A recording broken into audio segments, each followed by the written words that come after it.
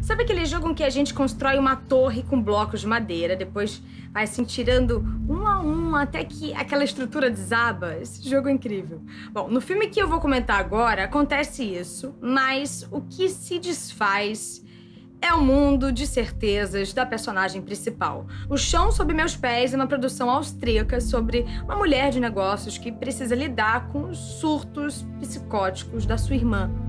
Logo na primeira cena, a protagonista Lola abre os olhos, meio assustada, assim, como quem acorda de um pesadelo. Mas, na verdade, os sonhos ruins se misturam com uma realidade cada vez mais aterrorizante. Ela ainda é jovem, tem uma carreira ascendente na área financeira, toca o principal projeto da empresa e namora sua chefe. Só que essa é apenas uma das duas realidades paralelas que a Lola enfrenta. Bom, no trabalho, ela é uma workaholic super competente, mas, no particular, precisa lidar com essa esquizofrenia da irmã. Conforme a trama se desenrola, uma realidade vai se sobrepondo à outra. Aquela organização do espaço corporativo vai sendo invadida por essa confusão familiar e levando a personagem ao esgotamento físico e mental. Quem nunca? Hum. É uma ruptura assim bem sutil em que a linha divisória entre a sanidade e a loucura é atravessada bem devagar. Grüß Gott. Sie wissen, warum Sie hier sind und was passiert ist?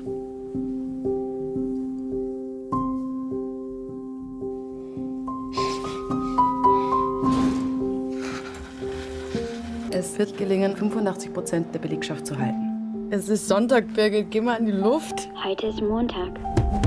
Ist nicht dein Ernst. Lola?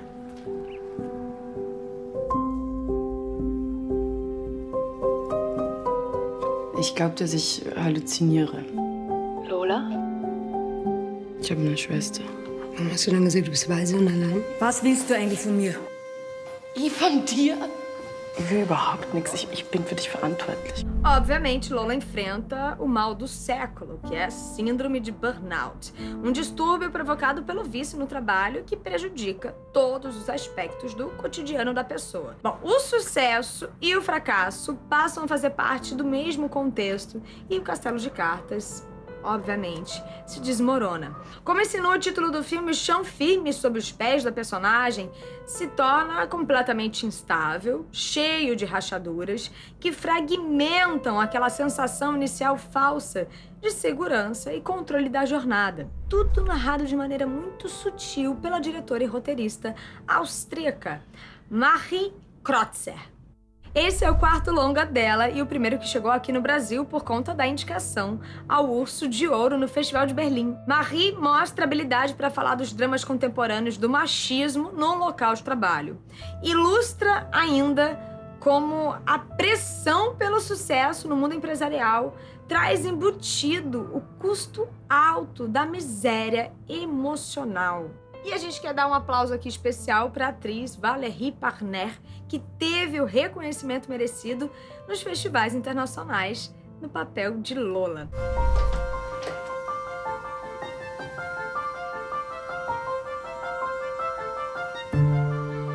Ich kann nicht sehen. Du verkaufst deine Seele für die Kohle. Alle anderen hier sind dir doch scheißegal.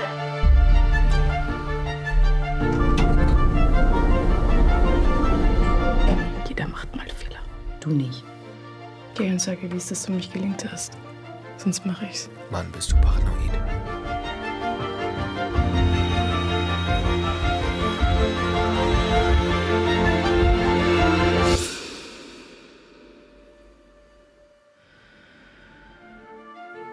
Wo bist du? Hinter dir. A busca obcecada de Lola pela perfeição é um sinal de alerta sobre os limites do ser humano e, e aquela nossa falsa percepção de felicidade, né? Quando a gente insiste em achar que falta alguma coisa, sem valorizar o que a gente tem aqui agora. É, essa é a verdadeira tragédia, né?